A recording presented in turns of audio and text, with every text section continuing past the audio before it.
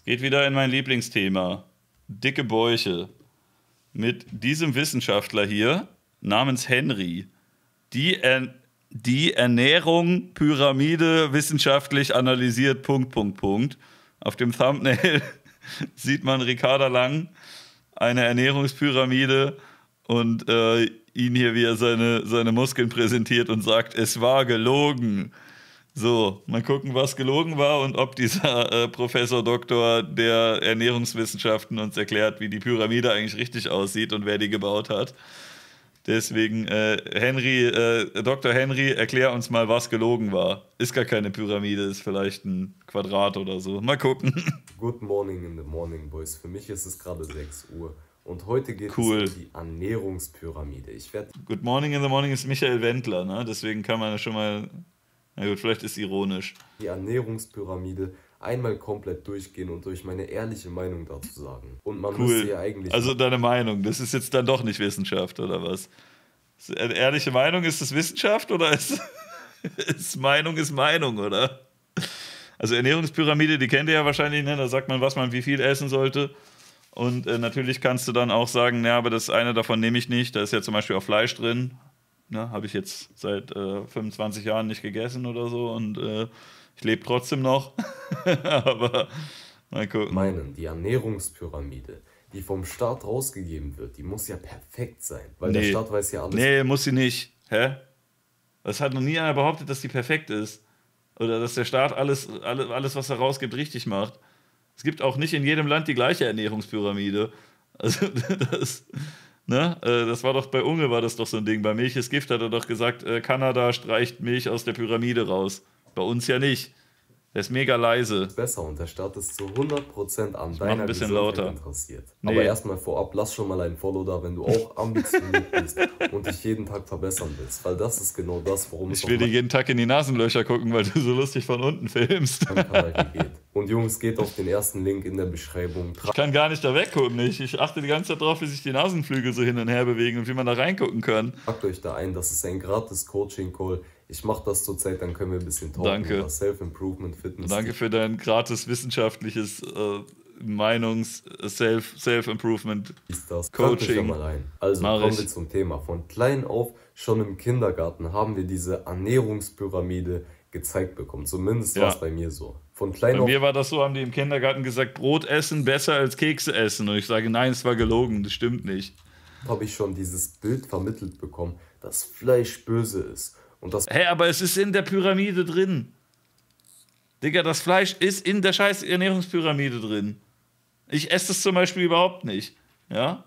Bin immer noch heile. man sich vor allem von pflanzlichen Produkten ernähren sollte. Aber jetzt Ja, und wo ist das Problem? gehen wir die Ernährungspyramide mal Du wirklich kannst ja auch äh, wissenschaftlich durchgehen, dass du sagst, ganz, ganz viele Pflanzen, die fütterst du in so ein Tier rein, dann zerhackst du das, ist alles ganz aufwendig und dann isst du das wieder. Warum isst du nicht direkt die Pflanze? Du kannst äh, cut out the middleman.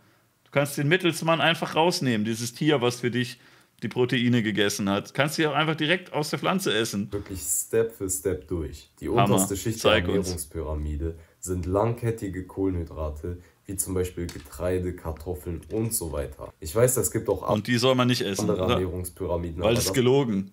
Esst das lieber nicht. das war zumindest die, Esst lieber nur Proteinshakes. die ich immer gezeigt bekommen habe. Schreib in die Kommentare, wenn das bei dir anders war. Auf jeden Mach Fall ich. können Worte War überhaupt bei mir anders, bei mir war unten immer Börek drin und, und Pide und so. beschreiben, was das eigentlich für ein großer Haufen Bullshit ist. Wirklich. Richtiger Bullshit. Ey, ich habe diesen Bullshit-Button sogar. Ich weiß nicht wo gerade. Aber Pommes sind dann quasi unten in der Ernährungspyramide. Das finde ich schon mal gut. Da kann ich da sehr viel von essen. Ich, ich bin der festen Ansicht, dass es an Körperverletzung grenzt, einer Person zu sagen, dass die langkettige Kohlenhydrate wie Getreide ganz unten in ihre Ernährung reinpacken soll. Also, dass es die Grundsubstanz ihrer Ernährung sein sollte. Weil Ja, ist halt, äh, sie, sie gibt es ja auch schon ein bisschen länger, diese Pyramide, ne? Das ist, äh, und Deutschland hat ja auch eine lange Geschichte mit Brot. Deswegen ist wahrscheinlich, und mit Kartoffeln, deswegen ist wahrscheinlich in Deutschland Brot und Kartoffel da und in, in Mexiko bist es da Mais oder so wahrscheinlich, ne? Weizen und viele andere Getreidearten sind stark entzündungsfördernd. Sie fördern Entzündungen in deinem Körper. Sie fördern damit auch eine Reihe von Krankheiten. Weizen steht zum Beispiel im Zusammenhang mit einer Reihe von Krankheiten, zum Beispiel Herz-Kreislauf-Erkrankungen, Depressionen. Und es geht nur so Depressionen, weil ich zu viel Brot gegessen habe. weiter. Das ist die eine Sache. Und die andere Sache ist aber, dass langkettige Kohlenhydrate immer noch Zucker sind. Die meisten Leute Ja, und ey, wenn, ihr, wenn ihr einfach einen Döner esst, dann habt ihr die ganze Ernährungspyramide in einem Gericht drin.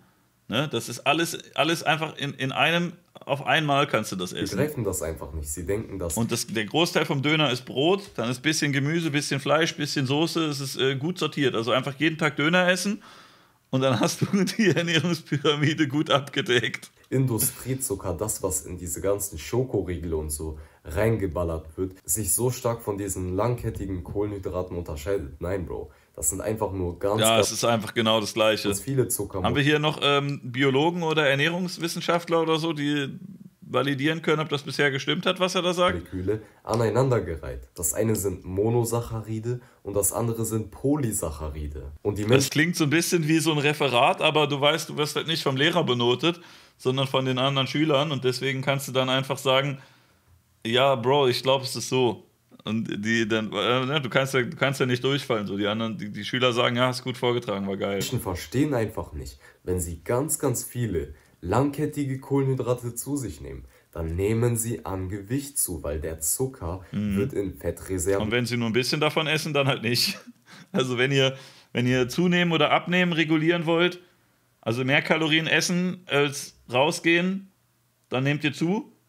Mehr Kalorien raus als rein, nehmt ihr ab. Das ist eigentlich ziemlich einfach. in deinem Körper eingespeichert. So viele Leute sind sich irgendwie nicht bewusst darüber und das ist einfach nur erschreckend. Guck dir mal an, wie die meisten Leute sich ernähren. Ich will mal aus meiner eigenen Erfahrung sprechen. Morgens bin ich aufgestanden, hab mir erstmal dick Haferflocken und noch irgendein anderes Schokomüsli gemacht. Dann Gift. habe ich mir noch ein paar Brote geschmiert. Dann in Auch Gift. der Schule habe ich mir irgendwelche Backwaren vom Aldi geholt. Auch Gift. Irgendwie Ey, als ob es beim Aldi so leckere Backwaren gibt. Brote geschmiert. Dann in der Schule habe ich mir irgendwelche Backwaren Nee, das gibt's nicht. Also beim Rewe oder Edeka gibt es manchmal solche Dinger hier, ne? Aber das Aldi hat die nicht. Aldi hat immer nur irgendwie, da, da kannst du froh sein, wenn du da eine Brezel kriegst. Bei Aldi sind die Brö- Brötchenregale immer relativ scheiße, oder? also, vom Aldi geholt. Irgendwie Pizzasnack, Apfeltasche und so. Das waren auch alles langkettige Kohlenhydrate. Ja. Das war dieser Blätterteig. Dann ja, wenn du da eins, eins von isst, dann ist es schon okay, ne? Also halt nicht so viel. angekommen, habe ich mir eine Tiefkühlpizza gemacht. Das waren auch nochmal ganz, ganz viele Kohlenhydrate in mich rein. Dann zwischendurch habe ich natürlich immer gesnackt, Chips, Nicknacks und so weiter und so fort. Und Ja, das ist nicht gut. Klingt jetzt nicht nach der besten Ernährung. Hättest vielleicht zwischendurch auch mal ein bisschen Gemüse essen sollen. Aber guck mal, dann hast du ja einfach von der Ernährungspyramide hast du einfach bisher beschrieben, du hast hauptsächlich halt einfach nur die Basis gefuttert und den Rest halt nicht. Ne? abends genau dasselbe Spiel. Abends habe ich mir vielleicht nochmal ein Müsli gemacht, nochmal ein paar Brote geschmiert. Und ich dachte, ich habe geil. mich mehr oder weniger gesund ernährt, Bro. Das Sagt jemand im Chat, äh, das mit den Weizenprodukten in Verbindung mit Depressionen stimmt tatsächlich, hat aber nichts mit Brot zu tun, sondern äh, durch die starken Blutzuckerschwankungen nach dem Verzehr von Produkten aus hochverarbeitetem Weizenmehl und so weiter. Okay. Das Ding. Brot, was soll Warum shoote ich gegen Aldi? Ein, in Aldi hat viele geile Sachen auch. Aber ich finde, die Brottheke bei Aldi ist schlechter als bei den anderen. Da gibt es irgendwie weniger geile Sachen. daran so ungesund sein? Müsli, was soll daran so ungesund sein? Das ist doch ganz normal. Das ist doch die Ja, Grundlage der gut, Schokomüsli ist halt nicht gesund, ne? Ernährungspyramide. Die meisten Leute nehmen einfach viel zu viel von diesem Getreide zu sich. Aber jetzt erklär mal, wie ich machen muss. Also, wir sind jetzt bei dreieinhalb Minuten. Was muss ich denn essen? Deiner Meinung nach, damit es mir gut geht.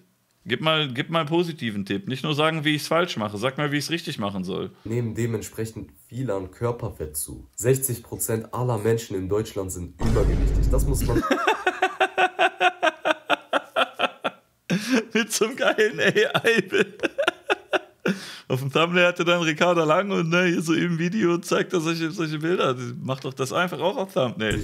auch erstmal auf der Zunge zergehen lassen. Mehr als die Hälfte der Bevölkerung So wie die dicken Leute ihre Butterriegel. Trägt viel überflüssiges Körperfett mit sich rum. Das ist absolut ungesund und das sollte absolut nicht so sein. Und dann gibt es noch eine Sache, die mich an der ersten Stufe der Ernährungspyramide stört. Und zwar ist es das Gluten. Gluten ist in fast jedem Getreide drin und es ist einfach nicht gut für deinen Körper. So kann man das ausdrücken. Ja, Es also mehr Blumen essen. Leute, so wie die Ärzte das gesagt haben. Wurde gerade auch im Chat gesagt. Das ist aber gar nicht aus dem Lied Friedenspanzer. Das ist ein eigenes Lied. Ich esse Blumen. Habe ich in der Kindheit viel gehört, die Ärzte. Ärzte ist so ein bisschen für mich so Rockmusik für Kinder, weil ich habe das halt mit acht gerne gehört. Es ist mir dann irgendwann, als ich älter wurde, ein bisschen auf die Nerven gegangen, aber so mit, ja, so 8 bis 14 fand ich die schon geil. Die sagen, dass es den Darm verklebt, kann sein. Ich habe da jetzt nicht weiter drüber recherchiert. Dann gibt es aber ganz klare Studien, die belegen, dass Gluten dein Testosteron direkt reduziert. Nein. Aber ich habe genug Testosteron, vielleicht. Dann kann ich das Gluten ruhig weiter essen, oder? Das sagt man über Lakritz ja auch, aber. Also der Bart ist immer noch vorhanden. Also ich glaube, dass. Ich glaube, dass äh, mein Testo-Level ist in Ordnung, deswegen äh, Glutene den, my man. Lakritze den, my man. Wenn du viel Gluten zu dir nimmst, dann steigt automatisch dein Prolaktinspiegel. Und Prolaktin ist ein Hormon, was entgegengesetzt von Testosteron wirkt. Um genau zu sein, ist es das Hormon, was Frauen in der Schwangerschaft vermehrt. Nein, und ich will doch keine Frau sein. Ich höre jetzt auf, Brot zu essen. Nicht, dass ich zur Frau werde. Stellt euch mal vor, ich wäre wie eine schwangere Frau. Nee, Alter, ich, ich bestelle jetzt nur noch Falafelbox ohne das Brot. Außerdem führt dieser ständige Kohlenhydratkonsum auch dazu, dass dein Blutzucker immer ansteigt und runterfällt. Anst das ist das, weswegen, was gerade einer aus dem Chat meinte, ne? weswegen, weswegen die Depression passiert. Und ne? runterfällt. Es gibt diese großen Blutzuckerspikes. Und das ist auch einer der Gründe, warum Kohlenhydrate Brain Fog verursachen. Ich meine, ist dir das mal aufgefallen? Du isst so ein Teller Nudeln. Ich esse einen Teller Nudeln und bin richtig dumm hinterher. Danach fühlst du dich einfach komplett kaputt. Du bist schläfrig, du würdest dich am liebsten direkt hinlegen. Bei mir ist das immer so, wenn ich so Sachen wie Nudeln gegessen habe. Und das liegt einfach an diesem Blutzuckercrash. Also wenn du schon Kohlenhydrate zu dir nimmst, dann achte darauf, dass der glykämische Index von den Sachen, die du isst, relativ gering ist. Weil okay. der glykämische Index beschreibt, wie schnell die Sachen, die du zu dir nimmst, in den Blutzucker gehen. Und desto höher der glykämische Index ist, umso schlechter ist es für dich. Also ich bleibe dabei, langkettige Kohlenhydrate. Ich mache das dann jetzt so, wie er sagt, der oder? Ernährungspyramide zu nehmen, grenzt an. Hätte jetzt auch Schlimmeres von ihm erwartet. Ist tatsächlich, glaube ich, äh, ist es wissenschaftlicher, als ich erwartet hätte.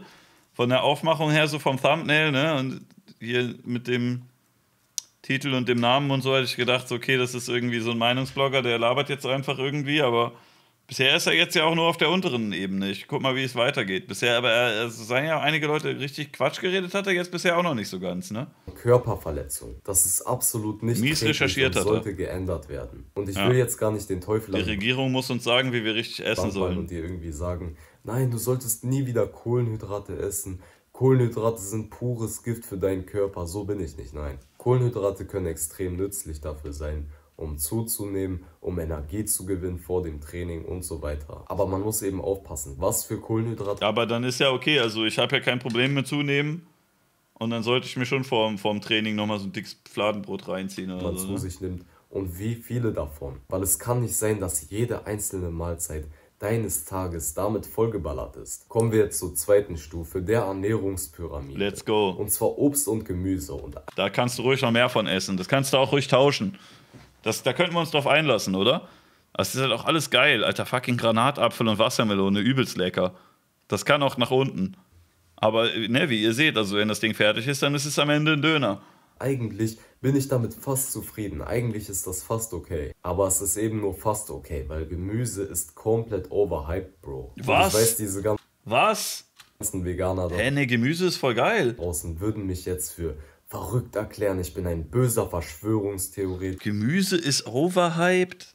Was? Der Lügen im Internet verbreitet, ja, okay. Glaubt ihr, brauchen wir tierische Produkte, um gesund zu sein? Oder können wir auch ohne? Genau, also wir brauchen natürlich keine tierischen Produkte, um gesund zu sein. Deswegen, warum schicken wir Tiere zum... Ja, aber guck viele Leute an, Alter. Es sieht ja gesund aus. also wenn du in McDonalds gehst und erwartest, da gesunde Menschen zu sehen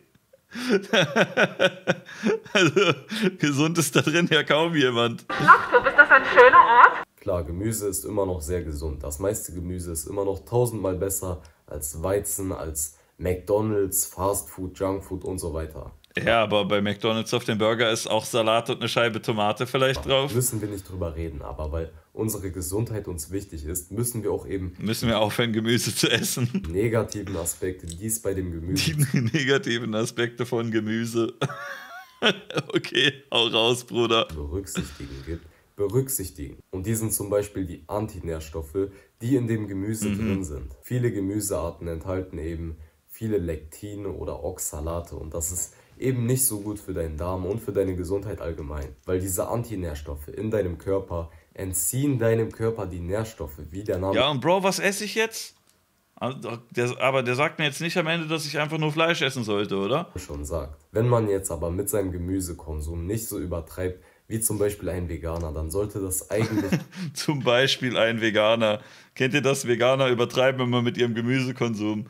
Deswegen sehen die auch so aus, wie sie aussehen, wenn du dir die im Internet anguckst. Wenn du so Leute wie Tilted Froste siehst und so, dann weißt du halt, der dicke Bauch ist einfach voll mit Gemüse. Das liegt nicht daran, dass der die ganze Zeit Süßigkeiten isst und irgendwelche, irgendwelche tiefkühl Green Force Sachen oder so. Der isst einfach zu viel Gemüse. Der ganze Bauch ist gefüllt mit, mit Gurke und, und mit Salat. kein Problem sein, weil diese Antinährstoffe kommen in so geringer Menge, dass es eigentlich kein Problem ist. Aber nichts Ja, Dick Halend auch, Alter. Der den ganzen Tag nur am Tomaten essen, der alte Gemüse-Junkie. Zentrum der Gesundheit als Quelle. Sorry, aber die Seite ist voll mit, voll mit Schwurbelei. Okay, ich kenne die noch nicht, deswegen. Nichtsdestotrotz würde ich nicht. auf jeden Fall Die sogenannte Gurkenleber. Niemals so viel Gemüse essen, wie uns das die Ernährungspyramide sagt. Also ich würde auf jeden Fall mehr Obst als Gemüse essen, so viel kann ich sagen. Guck, Weil da so viel Zucker drin ist, oder was? Hast du nicht gerade noch einen erzählt von, von äh, übelst gefährlich, dass wenn du, wenn du Getreide isst, da ist ja Zucker drin, weil das sind ja Kohlenhydrate, aber jetzt willst du Obst essen, oder was? Was ist denn in Obst drin? Fruchtzucker ohne Ende. gucken wir uns jetzt mal an, was an der dritten Stelle der Ernährungspyramide steht. Und zwar, ah, da kommt erst Fleisch- und Milchprodukte und Fisch. Und es ist nämlich eigentlich andersrum. Eigentlich ist die Ernährungspyramide, ihr müsst nur das hier essen die ganze Zeit. Knallt euch ein so eine Keule nach der anderen rein. Okay, erst an dritter Stelle, was ist da los? Tschüss, erst dritte Stelle verrückt. Guck mal, Fleisch. Und ich schwöre, diese, also, also guck mal, ne, Veganer essen es gar nicht verrückt. Alleine wenn du dir rotes Rindfleisch anguckst. Rotes Rindfleisch hat alle essentiellen Mikronährstoffe, die du für deinen Körper brauchst. Ist das nicht krass? Okay, Das ist krass. Nicht alle, alle zum Beispiel. Ey, das hat alle, ja? Ich schwöre, das hat alle. Ist das nicht krass? Ja, okay, vielleicht doch nicht alle. okay. Vitamin C kann man nur über Früchte eigentlich zu sich nehmen. Aber trotzdem bin ich der Ich schwöre, es hat alle, aber es hat halt nicht alle. Überzeugung davon, dass Fleisch sehr, sehr gesund für unseren Körper ist, Bro. Und ich weiß, es gibt Studien, Ich schwöre, Fleisch ist sehr gesund für unseren Körper, Bro. Weil, Bro, ich esse das halt gerne. Und, Bro, wenn es Studien gibt, dass das nicht so ist, Bro, dann sind diese Studien halt Quatsch, Bro, weil meine Studie sagt anders, Bro. draußen, die sagen, rotes Rindfleisch verursacht Darmkrebs. Aber es gibt Ja, aber das ist Quatsch. Ja? Ich suche mir die Studien so aus, wie mir die gefallen. Und mir gefällt lieber die Studie, wo die sagt, es ist gut. auch Studien, die genau das Gegenteil beweisen. Aha. Nur leider werden die Von der neuen Zürcher Zeitung. Rotes Fleisch und Würste sind laut Forschern doch nicht so ungesund. Doch nicht so ungesund heißt aber auch nicht gesund, ne? Ah, das ist nicht das Gegenteil, ne? Wenn einer sagt, es ist sehr ungesund und der andere sagt, es ist doch nicht so ungesund, kann immer noch sein, dass es immer noch ungesund ist, ne? Ah, Das heißt jetzt nicht, dass das besonders geil ist. die von der Öffentlichkeit nicht so groß gemacht. Ich persönlich zumindest habe die Vermutung, dass die Studien, die darauf basieren, dass durch rotes Fleisch das Darmkrebsrisiko steigt, dass diese Studien eben mit nicht gerade hochqualitativem Fleisch Aha. durchgeführt wurden. Und Ich habe da einfach eine Vermutung. Ich wette, die militante Veganerin hat es durchgeführt. Ich wette, das sind alles Ideologen. Eigentlich ist übelst gesund und lecker und geil. Und alle Leute, die was anderes sagen, äh, eure Studie mag ich einfach nicht. natürlich, Bro, wenn du dir jetzt die 1-Euro-Salami von Aldi jeden Tag reinfetzt, wo Natrium, Nitride und dieser ganze andere Scheiß drin ist, dann ist das nicht gesund für deinen Körper. Aber Aha. ich bin fest überzeugt davon, dass rotes Rindfleisch, Gras gefüttert, unbehandelt, eines Wo kriegst du das denn? Gras gefüttert und unbehandelt. der besten Sachen ist, die du zu dir nehmen kannst. Und auch diese Ja, ist halt nicht so gut für das Rind, ne? Aber. ganzen naja. anderen tierischen Produkte, zum Beispiel Eier. Eier sind auch unglaublich mikronährstoffreich. Fisch- und Milchprodukte ganz genauso. Aber sie wurden Ist, weißt du, was, was, äh, was ganze, ganzen Hühnersachen, woran die auch reich sind? Antibiotika. Mm. eben vom Mainstream so unglaublich schlecht geredet. Und das basiert meistens auf der Annahme, dass Cholesterin schlecht für dich ist. Das ist aber Er erklärt jetzt einfach all diese Sachen und bei manchen sagt er, ich schwöre, die sind richtig ungesund, bei anderen sagt er, die sind richtig gesund. Also er ist einfach fest überzeugt, es ist wissenschaftlich, aber dann manche Wissenschaft gut, manche Wissenschaft bad, weil äh, fest überzeugt und Meinung. Also wir haben jetzt hier so 100 Studien und ich gehe einfach mal davon aus, die eine Hälfte gut, die andere nicht so. Das äh, ist halt einfach, ne? Also kann ich jetzt nicht genau irgendwie, aber also ich, ich gehe auch von aus, die einen Studien sind besser als die anderen. kurz zusammengefasst kompletter Bullshit, Bro. Ich meine, guck dir mal an, woraus Testosteron hergestellt wird. Aus Cholesterin. Und ja, ein hoher Aha. Cholesterin. Und ich will mehr Testosteron haben, damit ich ein mächtiger Mann bin wie Karl S. oder so. Ne? Spiegel in deinem Blut ist garantiert etwas Schlechtes für dich. Aber, oh Wunder, Aber? ein hoher Cholesterinspiegel kommt nicht von einer cholesterinhaltigen Ernährung, sondern von einem schlechten Stoffwechsel und von einem großen Kohlenhydratkonsum. Also hab keine Aha. Angst davor, Fleisch, Eier oder Milchprodukte zu essen, weil Ja, sie doch. sind unglaublich gesund für dich. Aber unglaublich ungesund fürs Rind. Es ist einfach Möchte faktisch nicht. so bewiesen, dass unser Gehirn sich nur so krass entwickeln konnte, weil unsere Hm. Vorfahren eben viel Der Scheiß schon wieder. Ich schwöre, das Gehirn hat sich richtig weit entwickelt, weil äh, der Höhlenmensch, der hat ein bisschen Wiesenhof-Salami gegessen. Deswegen geh mal in McDonalds und guck dir die ganzen Big Brains da an, was die alle für gigantische Gehirne haben, dadurch, dass die Fleisch essen. Guck mal, wie intelligent die sind. Äh, Ja, okay. Fleisch gegessen haben. Kommt Ja, aber ey, das ist ja nicht mal das ist äh, hundertprozentig bewiesen, oder? Und du bist halt nicht irgendwie der Höhlenmensch von früher. Das Gehirn hat doch jetzt schon die Größe und du benutzt es ja anscheinend, um so ein YouTube-Video zu machen. Deswegen, so groß, so groß kann es ja dann doch nicht sein. Kommen wir nun zum großen Finale, die Spitze der Ernährungspyramide. Und da haben wir auf der einen Seite Fette und auf der anderen Seite Süßigkeiten. Bro, Und Tee. wenn ich das so sehe, dann frage ich mich wirklich, Boah, frage ich mich, warum ist das nicht ganz ab? was diese Leute genommen haben, die diese Was? Ernährungspyramide erstellt haben. Das kann doch nicht wirklich ernst gemeint sein, dass Süßigkeiten in eine gesunde Ernährung mit eingebaut werden. Ja, oben an der Spitze ganz bisschen. Kannst du machen. Hä? Du musst doch nicht hundertprozentig äh, irgendwie Askese machen. Süßigkeiten sind pures Junkfood, industriell hergestellt und schädigen einfach nur deine Alter, dein Rindfleisch ist auch industriell hergestellt.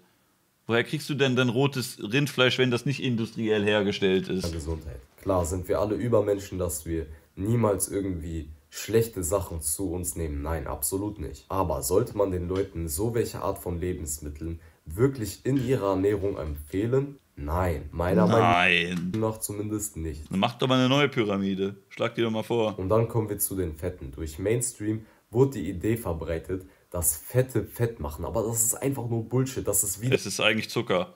mal komplett Aber auch. Also wenn du ganz viel Fett isst, dann wirst du auch fett. gelogen, komplett aus dem Ärmel rausgezogen. Fette sind unglaublich wichtig für deinen Körper. Du brauchst Fette, um überleben zu können. Wie vorhin Aha. schon gesagt, Testosteron und die meisten Also wenn der Mainstream sagt, wenn du richtig viel Fett isst, dann wirst du dick. Aber nein, nein, nein, so ist das nicht. Weil wenn du ein bisschen Fett isst, dann wirst du nicht dick. Der Mainstream hat einfach gesagt, Fritteuse ungesund. Aber eigentlich so ein bisschen Olivenöl mit in Salat ist gar nicht ungesund. Checkmate. anderen Hormone werden alle aus Cholesterin hergestellt. Also auch hier wieder, hab keine Angst davor, dich fettig zu ernähren. Hab keine Angst davor, viel Butter zu essen, viel Olivenöl zu essen. Und nein, Ja, Olivenöl ist in Ordnung, ne? Kann man machen. Danke sehr. Haferflocke. Essen. Also bitte keine Öle kaufen, die von der Industrie hergestellt wurden. Denk mal ganz logisch darüber nach. Wie kann aus so einer Pflanze, so einer Rapspflanze, Öl gewonnen werden? Wie funktioniert das? Wo ist Wie kann aus so einer Olive Öl gewonnen werden? Also, das kann ich essen oder was? Wie kann aus einer Kuh unten Butter rauskommen? Ja, kauft, äh, kauft industrielle, industrielles Olivenöl und Butter, das ist halt nicht industriell oder was? also, da das Öl? Das passiert alles nur durch chemische Prozesse und wie aha. du dir vorstellen Ja, und Buttergewinnung nicht oder was? kannst. Das ist nicht unbedingt gesund für deinen Körper. Nimm die naturbelassenen Lebensmittel wie Butter, wie Die Butter. nimm nicht, nimm nicht, nicht Raps, das ist nicht natürlich. Nimm Butter. Das kommt aus der Natur. Das fällt einfach so aus der Kuh raus. Olivenöl, wie Schmalz, wie Kokosöl und nicht diese ganzen ekligen Seed Oils. So Jungs, jetzt wird die Ernährungspyramide einmal komplett auseinandergenommen. Krass. Wenn ihr meine Ernährungspyramide sehen wollt, die auf Die muss man kaufen, oder? Testosteron bzw. auf Gesundheit angepasst ist, Testosteron beziehungsweise Gesundheit. schreibt das in die Kommentare, dann sehe ich, dass da Nachfrage besteht und dann kann ich ein Video dazu vorbereiten. Ach so. Also schreibt in die Kommentare, wenn ihr meine Ernährungspyramide sehen wollt und ansonsten macht's gut. Wir sehen uns im nächsten Video. Ciao, ciao. Ciao, ciao. Ähm, gutes Video. ja, ich, äh, ich sag's nochmal, ne? Also hier diese Ernährungspyramide, ähm, haben wir die hier irgendwo nochmal eingeblendet? Also die ist im Grunde ein Döner. Ihr könnt es einfach essen, dann werdet ihr, dann werdet ihr von dem, ähm, werdet ihr zu, ja, hier dem. Aber esst nicht das mit, also nicht das mit Fleisch, nehmt lieber so Falafel oder so. Aber äh, aufpassen, wenn ihr nicht die ganze Zeit rotes Rindfleisch esst, dann werdet ihr richtig dumm. Unser Gehirn ist nur so riesig, weil der, ähm, weil der Höhlenmensch, der hat so viel rotes Rindfleisch gegessen, deswegen ist er so übelst intelligent geworden und hat dann YouTube erfunden und da so einen Kanal erstellt, wo der sagt, Bro, die Pyramide voll dumm. Na gut. Ja, ist ein sehr, sehr kluges Video gewesen. Ich esse jetzt was anderes, aber er sagt, er hat ja viel nur gesagt, so, ey, das nicht mehr essen, das doch essen. Also ich soll jetzt sehr viel rotes Rindfleisch mit Butter essen. Ja, nee, mach ich nicht. Tschüss.